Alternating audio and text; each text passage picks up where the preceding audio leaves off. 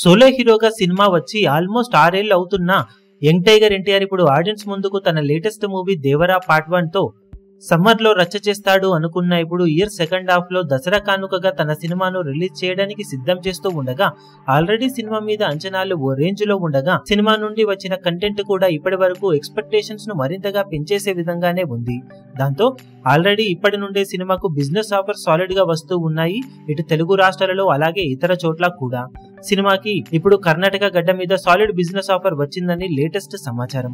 ఈ సినిమాకు పోటీగా కర్ణాటకలో రిలీజ్ టైంలో మరో కన్నడ పాన్ ఇండియా మూవీ అయిన మార్టిన్ మూవీ రిలీజ్ అవుతూ ఉండటంతో స్క్రీన్ షేరింగ్ విషయంలో ఇబ్బందులు తలెత్తే అవకాశం ఉన్నప్పటికీ కూడా దేవరా మూవీ పార్ట్ వన్కి ఆ బిజినెస్ పరంగా అక్కడ సాలిడ్ ఆఫర్ ఇప్పుడు వచ్చిందట. ఆల్మోస్ట్ పదహారు కోట్ల రేంజ్లో బిజినెస్ ఆఫర్ను సినిమా అక్కడ సొంతం చేసుకోగా అడ్వాన్స్ బేస్ మీద ఈ ఆఫర్ వచ్చిందని అంటూ ఉన్నారు.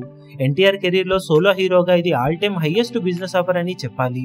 మిగిలిన హీరోలు ఆల్రెడీ వరుస పెట్టి పాన్ ఇండియా మూవీస్తో బిజినెస్ పరంగా రేంజ్ను పెంచుకుంటూ ఉండగా ఆరేళ్ళుగా సోలో హీరోగా సినిమా చేయలేని ఎన్టీఆర్ ఇప్పుడు వరుస పెట్టి సినిమాలతో దుమ్ము లేపడానికి సిద్ధమవుతూ ఉన్నాడు.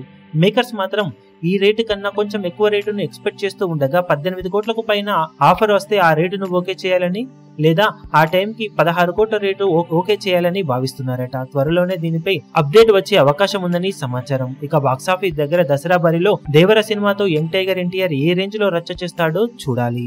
ఈ వీడియో మీకు నచ్చినట్లయితే లైక్ చేయండి షేర్ చేయండి ఛానల్ను సబ్స్క్రైబ్ చేయడం మాత్రం మరవకండి. ఏ చిన్న అప్డేట్ను మిస్ అవ్వకూడదు అనుకుంటే బెల్ ఐకాన్ను ప్రెస్ చేయండి.